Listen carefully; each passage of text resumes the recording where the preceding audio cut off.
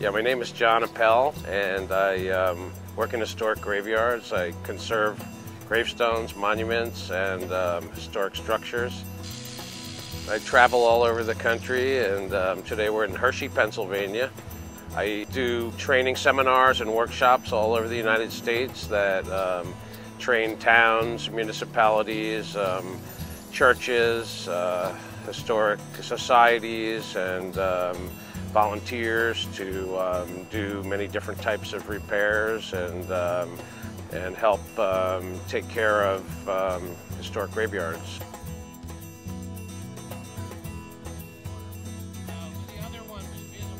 Uh, really the field of uh, gravestone preservation, conservation is not that old. Um, it's, it's, it's still not really that scientific in many respects because there's um, you know, not that many people working in the field. The older stones that are um, dating from uh, the 16, 17, 1800s are generally um, soft materials like sandstones and marbles and they tend to be fragile, very friable and, um, and you have to treat them in different ways and even cleaning them can be harmful. And of course, cleaning is something that's always overdone and done improperly, I, I should say, and um, like using bleach and um, pressure, pressure washing with, you know, 2000 PSI on a very soft material, which is basically like a sandblasting, which is, which is still done also today. Some modern monument dealers also do claim they do preservation, restoration, and they'll just lightly sandblast historic stones to make them look new because it'll quickly make a very weathered marble um, monument white again, but you're removing stone and opening up the pores and it's just a detrimental thing. And with the mortars, of course, um, you know, everything that's uh, relates to gravestones as far as um, setting them into the socket bases that are very common on the on the gravestones throughout the 1800s and into the early 1900s. Um, you know, if it's done in a hard Portland cement concrete, uh, cement mortar, um, it's not compatible with the softer base material and the headstone material. So then that can cause more harm than, than good. A lot of times you're working on things that were previously repaired.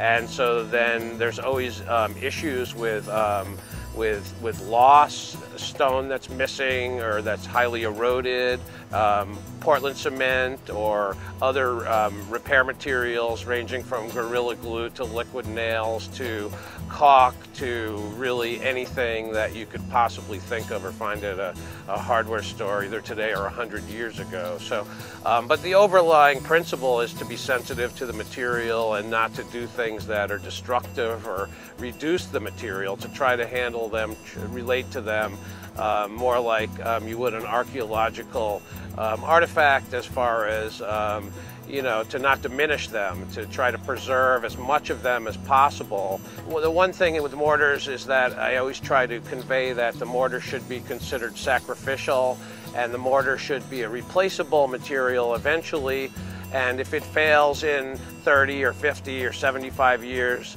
and the stone is still workable, that's a good thing because, um, you know, we can always remortar it in place.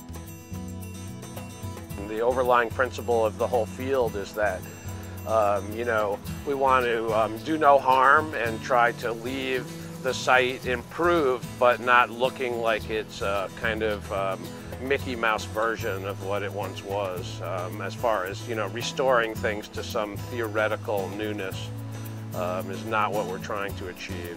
And also just not to have the expectation to make things look new because they're old.